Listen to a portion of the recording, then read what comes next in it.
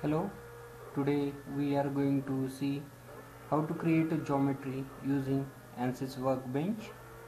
So into the component systems, click on plus sign. So you can see this is the geometry creation. Click and drag into this green box and you can see this is the question mark. So it says geometry need to be created. Double click on this geometry to open design modular.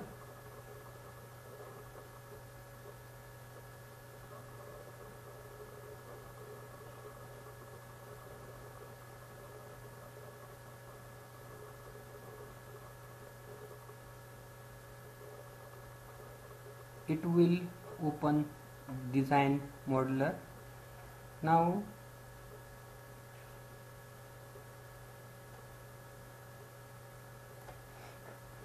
select the ZX plane right click click on look at. So you can see the front view of this plane. Go to the sketching. In sketching today we are going to see how to create geometry using a polyline. So select this polyline we are going to create I section. So just create a I section.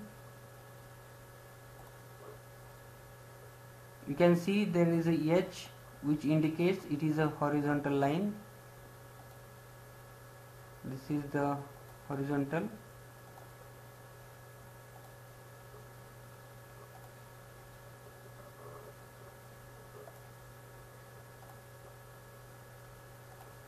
to close the start point and end point just right click and close end.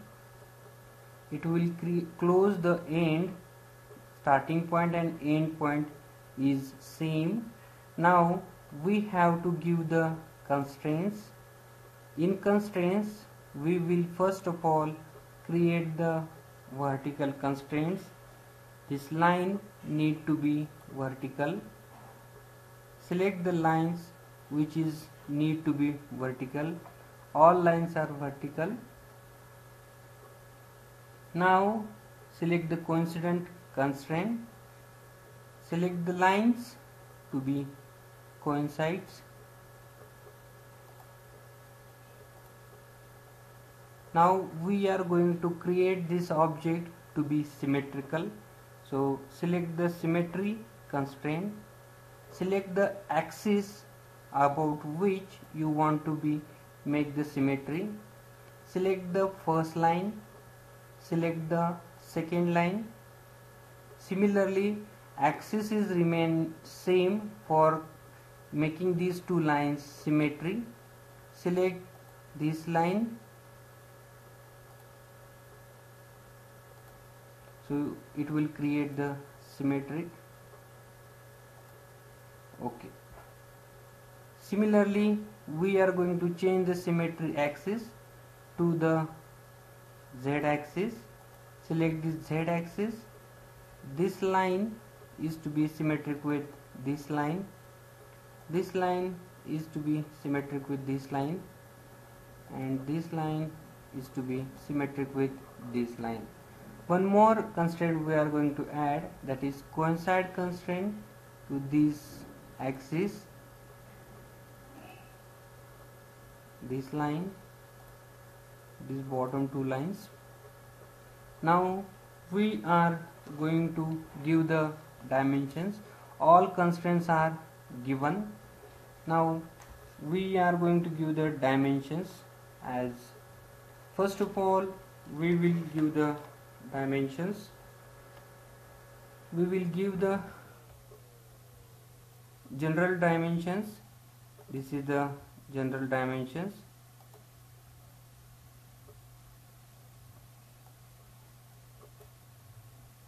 Now you can see this is the dimensions. H1 here it is 33 meters.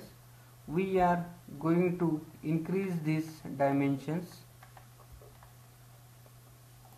to 120 edit the dimensions here click enter.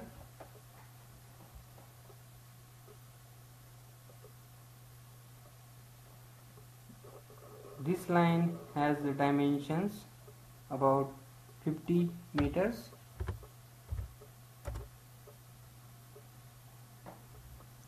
Again we have to give the vertical distance. It has changed. So select the vertical distance this line and this bottom line and edit this to be uh, 90 meters. Now distance of this line from this line is 30 meter. So it is a horizontal distance. So select the horizontal. We have to select these vertical lines. So here we will give. It is h4 distance that is 30 now you can see uh, all the sketch is in blue color. That means it is in the fully constrained mode. One more thing we are going to add is we have to make a rectangle into it rectangle. So select rectangle. Draw a rectangle over here. Now we are going to make constraint again. Symmetry constraint. Select symmetry. Select the axis. Select the lines. Change the symmetry axis now we have to give the dimensions to the central rectangle. So you can select the general dimensions. So you can see this is the warning new dimensions made the over constraint because already dimensions are given. So when it happens you just click it and then do it undo. Now only thing we have to give is horizontal dimensions h6 so we will edit it to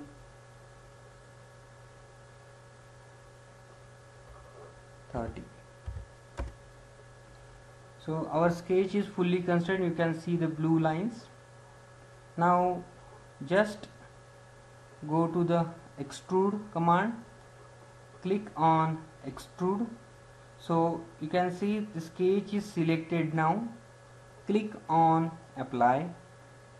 Now depth here you have to give some distance that is 20 meters. And you can see here is the yellow generate mark. That means extrude need to be generated. Click on generate. So it will generate the I section. So now you can see this I section has been generated. Just hide this sketch by right click hide sketch.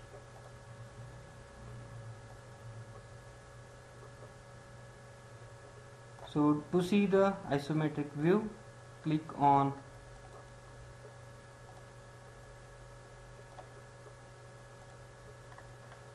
so this is the I section thank you for watching. For any queries you can mail me on msquare.cae at the rate gmail.com thank you